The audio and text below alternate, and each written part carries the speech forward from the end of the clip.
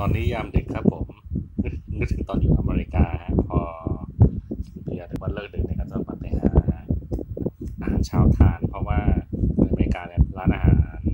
อเมริกันเนี่ยพอร้านนี้ดึกเขาจะเสิร์ฟอาหารเช้าไงแล้วก็สั่งไข่ลาวกระดาษหัวแฮมอันนี้ก็ไข่ลวกนะฮะในก่อนนอนก็ต้องกินไข่ลวกสักหน่อยนะครับท่านผู้เกียรติครับเดี๋ยวผมต้มผ่านกากระติกนะครับเนี่ย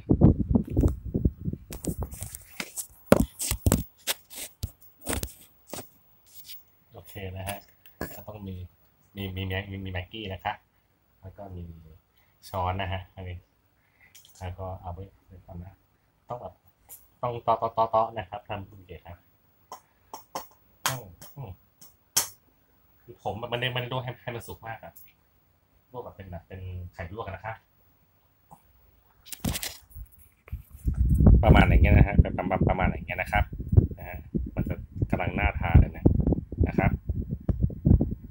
ถ้าหยอดแม็กกี้จะอร่อยมากมากเลยเนี่ยหยอดแม็กกี้อย่างเงี้ยนะครับ โอเคครับเนี่ยเดี๋ยวจะให้ดูจ้ะจ้ะ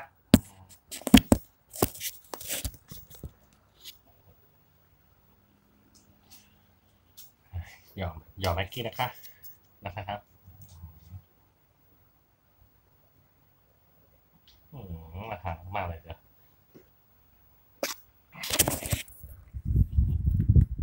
เราไม่กินอาหารระหว่างกันนะครับ แล้วเรา ก็ทำการรับประทานนะครับ ผมตักอย่างนี้นะครับอย่างนี้นะครับอ่าก็อืม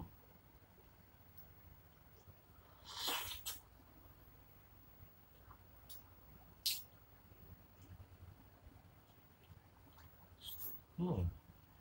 อร่อยครับผมอร่อยมากครับ